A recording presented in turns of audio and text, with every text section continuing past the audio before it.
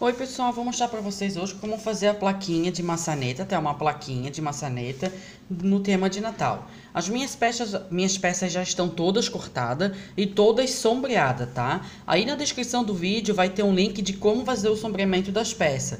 Tem três maneiras, que é com tinta óleo, ou tinta PVA, ou giz pastel oleoso, tá? Vocês escolhem a melhor maneira para vocês, ó. Todas as minhas peças já vão estar assim. A minha árvore de Natal, eu sombreei, como eu estou usando um verde bem escuro, o EVA, eu sombreei ela de preto. O que eu fiz? Eu peguei o giz pastel preto, passei no dedo, eu tiro o pozinho na mão, ó, passo, tiro o pozinho na mão e sombreio, tá? Pra ficar nesse tom assim, ó, porque ele é um verde bem escuro, tá ok? Depois de fazer isso, eu peguei tinta PVA amarela, molhei o, o palito churrasco na tinta e fiz as bolinhas. Depois peguei tinta vermelha, molhei, molhei e fiz as bolinhas, tá? Foi só isso que eu fiz na arvorezinha, tá? Então vamos começar a montagem. Vou começar a montagem da árvore.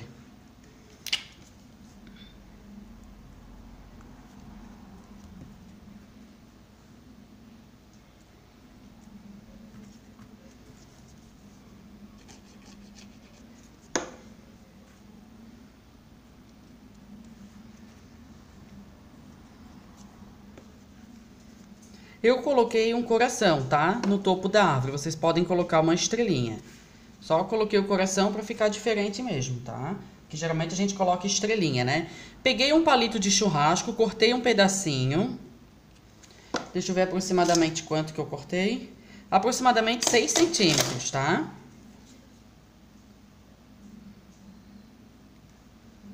Ó, fiz um lacinho. Esse lacinho vai estar tá aí na descrição do vídeo, um link que ensina a fazer laços, tá?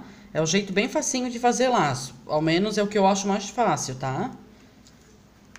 Ó, esse lacinho eu fiz com uma fita, tá? Ó, a nossa árvorezinha já está pronta. Para a base, já recortei e já chanfrei. Vamos à montagem do Papai Noel. Já chanfrei todo o nosso Papai Noel também, tá? Vamos começar a montagem.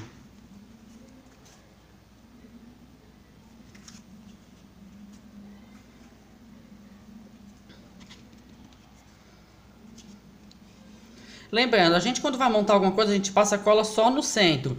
Nunca passa cola nessas bordas. Porque caso precise levantar as bordas para acrescentar algo, já está de fácil acesso, tá?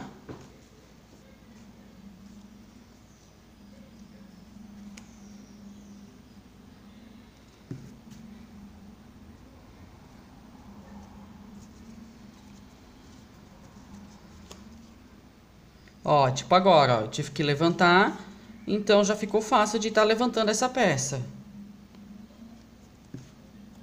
Por isso que é bom nunca passar muita cola, tá, gente? Cola não é acabamento. Se vocês estão fazendo uma peça e essa peça tá sujando toda a mãozinha de vocês de cola, vocês estão desperdiçando cola, tá? Quando vocês fizerem uma peça, não pode ter sujeira de cola. A mão de vocês tem que estar tá limpa de cola, tá? Isso quer dizer o quê? Que vocês não estão desperdiçando cola.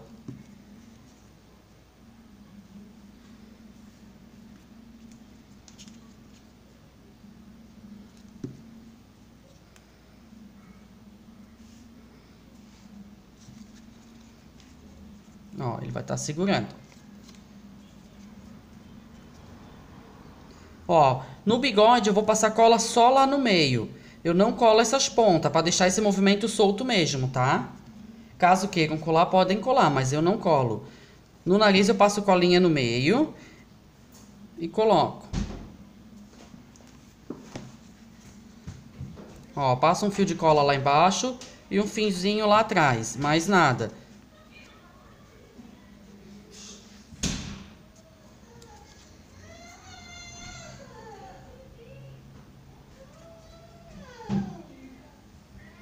Ó, passo colinha aqui em cima. Passo cola aqui em cima.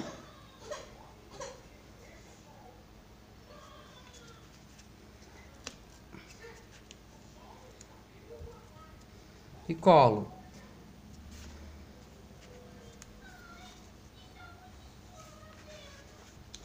pego o nosso pinheirinho, passo uma colinha aqui atrás, não muita cola, e uma cola no palito para segurar o palito também, tá? E coloco na mãozinha dele, como se ele estivesse abraçando esse pinheiro, tá? Toma cuidado para não colocar em cima do rostinho dele, tá? Para aparecer bem o rostinho dele, ó. Dessa maneira. O que eu faço? Eu pego o, o pincel da empresa Castelo. Eu tô usando o Pituá. O número é esse aqui, ó. C556. Pego um giz pastel oleoso vermelho. Passo no pincel. Passo bem. E venho aqui e faço as, boche as bochechas.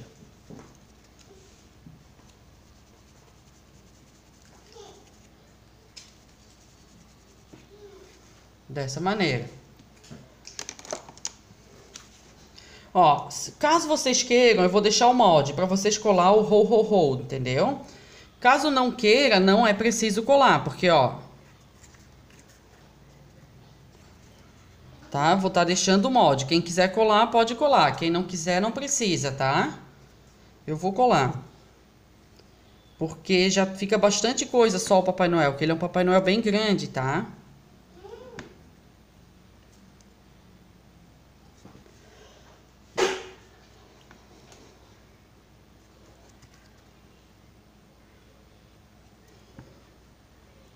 Ó, dessa forma.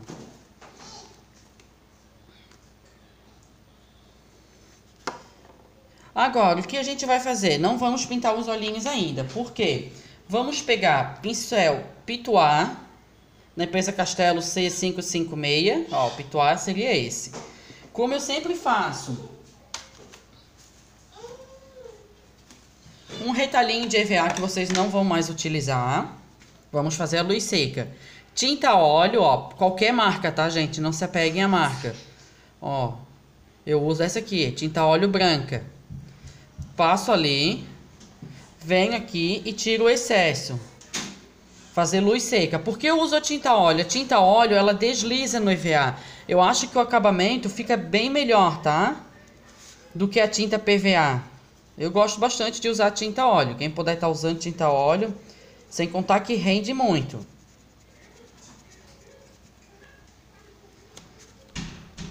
Ó, vamos dar a luz seca, tá? Sempre com o movimento do pincel assim, ó, circular, tá?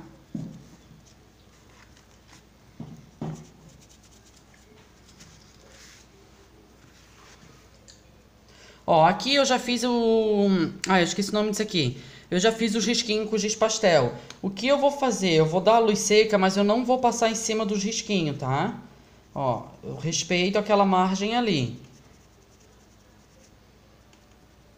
E vou puxando. Sempre respeitando aquela marcação que já fizemos. Ó, dessa maneira.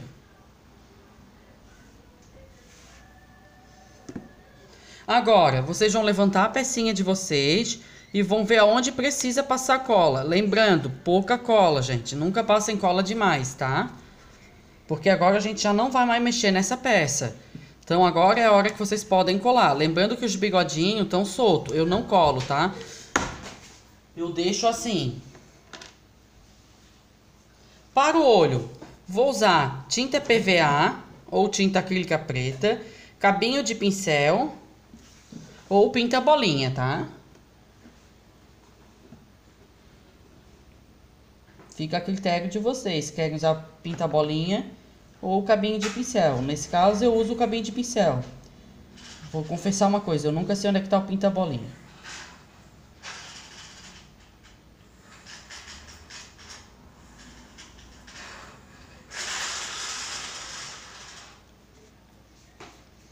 Ó, dessa maneira.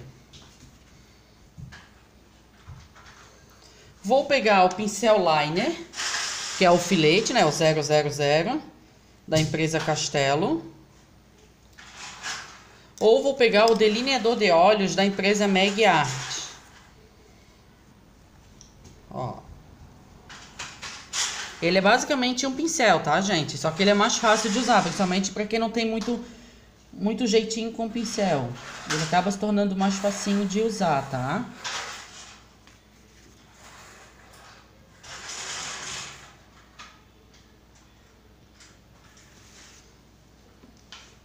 Ele é menino, então a gente não faz muitos cílios, não faz muita coisa, tá? Ó, vou pegar o delineador branco. Também da empresa Meg Arts. Vou tirar o excesso. E vou fazer a sobrancelha, né? Como ele é um vozinho, ele tem a sobrancelha branca.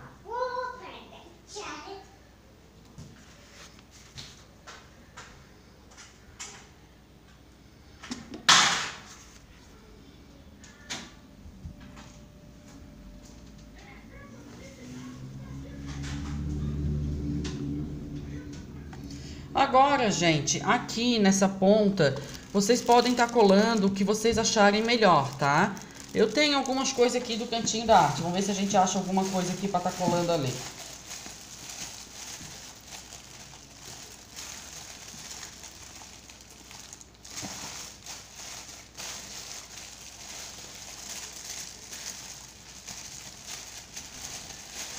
Não, só tem coisa rosa.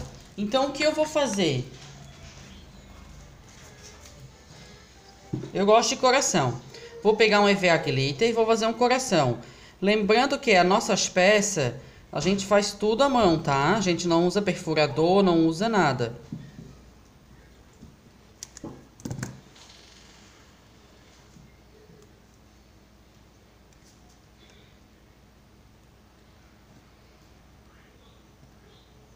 Ó, dessa maneira.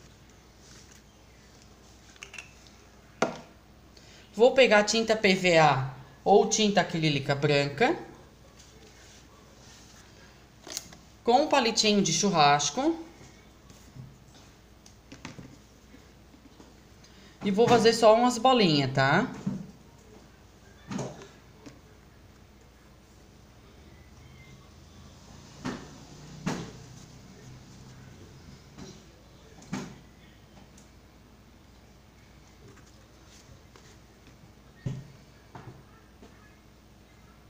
Ó, dessa maneira.